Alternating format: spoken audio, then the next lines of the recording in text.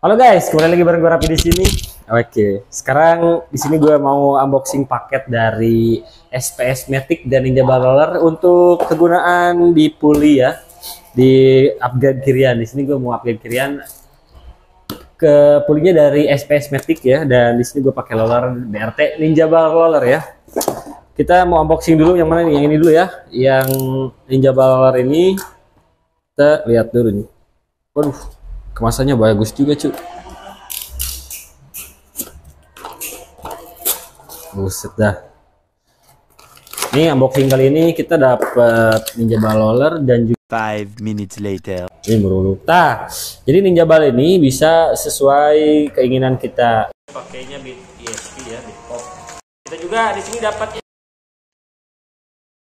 buat nyongkel ini nah seperti ini nih. Nyongkel si dalamannya ini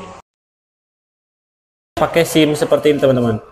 Nah ini ini tuh SIMnya ini satu gram. Jadi kalau misalkan kosongannya 8 gram, kalau misalkan isi fullnya itu 13 gram. Seperti itu teman-teman. Jadi gua saranin sih pakai ini ya, supaya tidak banyak roller gitu bisa di setting-setting. Tinggal pakai tang ini dijepit seperti ini nih. Tek, keluarin SIM-nya. Langsung kita pasang ke sini. Nah, ini untuk SPS Matic nih. 13,8 Kenapa gua ambil yang 13,8? Dikarenakan motor gua Honda. Tarik kalau misalkan motor Honda, tarikan awalnya itu udah enak, teman-teman.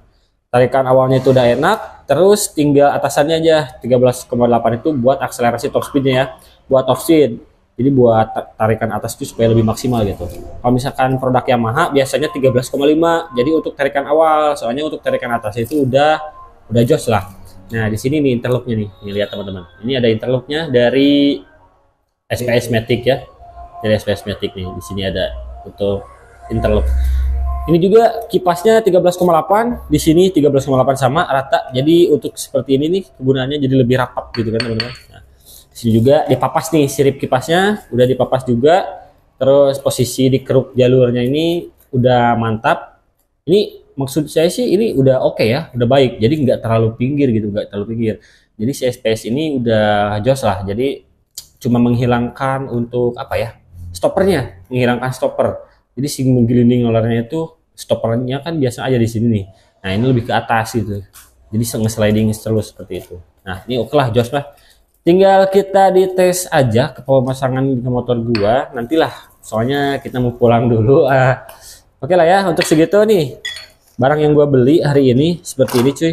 Untuk settingan roller tinggal teman-teman cari aja uh, untuk ke depannya ini mungkin dari Persentri sama Persipiti itu sesuai kebutuhan teman-teman aja. Kalau gue sih di Persipiti-nya pakai 1500 kalau Persentrinya pakai 1000 dan kanvasnya gue normal-normal aja sih nggak ada yang dirubah ya. Untuk saat ini sih gue pakai Daytona ya.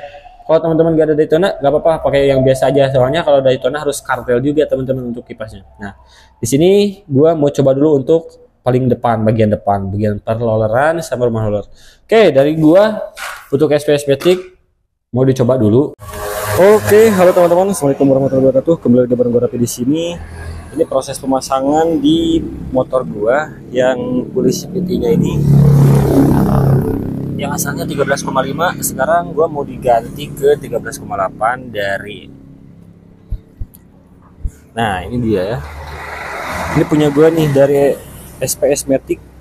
Gua di sini pakai 13,8 dengan bubutan diam diam ininya. Terus di sini udah dikeruk juga jalur rollernya terus di sini pakai interlock juga. Udah pakai interlock dari mode SPS Maticnya sama kipasnya juga sama udah pakai interlock nah ini untuk model kipasnya udah di interlock juga. Jadi biar lebih rapat gitu ya ini untuk K44 dan yang tadi nih yang roller juga udah bahas di video sebelumnya ini gue pakai ninja ball roller supaya bisa diatur di setting ya diagramnya gitu. Oke kita coba pemasangan dan ketesan nanti kita akan lebih lanjut lagi ya karena di sini ada problem gue dari dari apa ya dari as ya as roda ya as puli as puli laharnya mau diganti yang sebelah depan sana tuh oke teman-teman tak terasa di sini sudah dibongkar. Oke cuy, tak terasa di sini sudah dibongkar dan ternyata dalamannya seperti ini cuy. Ini paketan nggak benar ya yang kemarin nih. yang bekasnya ini nggak terlalu naik ya karena tadi udah dicek sama mekanik andalan gua nih nah, ini selang itu cuy ini ini yang baru nih ini gua dari SPS Matic sistemnya ini pakai interlock ya. Dari depannya ini pakai interlock. Dan di kipasnya juga sama dia pakai interlock juga. Roller BRT ini kuat banget cuy. Ini yang asalnya gue pakai 8 gram.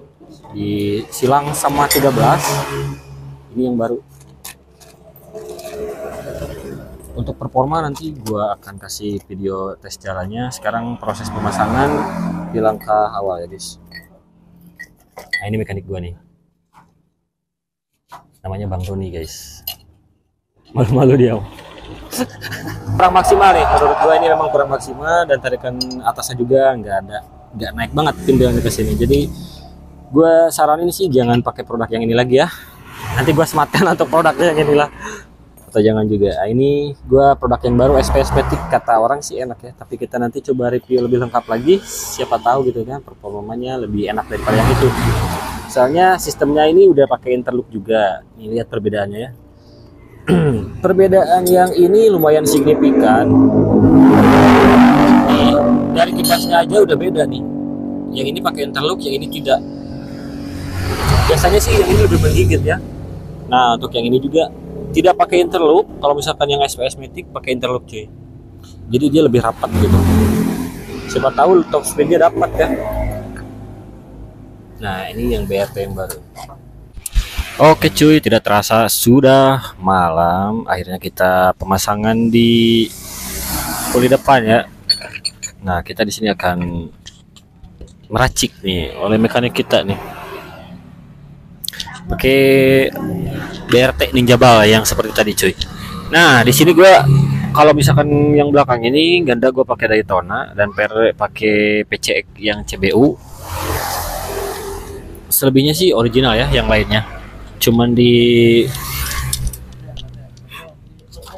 si makoknya cuma di garis-garis aja sama di bolong-bolong sama mekanik ini Bang Doni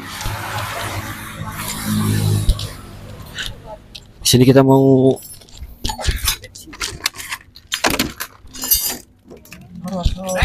mau meracik di roller tersebut cuy. Oke cuy ini udah finish nih. Kita pakai 6 roller yang tiganya itu 8 jadi pakai silang yang tiganya lagi 11 jadi totalnya 57 kita coba dulu racikan yang pertama ini. Kalau misalkan kurang atas atau kurang bawahnya kurang tarikannya kurang enak di atas kita ganti lagi racik lagi.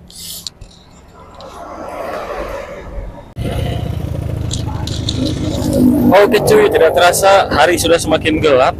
Motor gue baru beres nih. Tinggal dites jalan.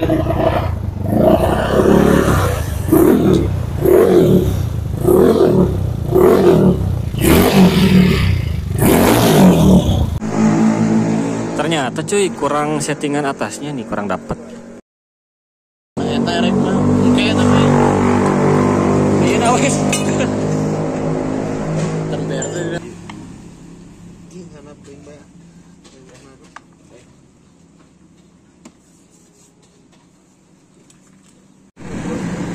tahap pemasangan ditambah 1 gram. Tiap roller berarti ditambah 3 gram ya? Jadi asalnya 57 jadi 60 cobaan kedua. Cobaan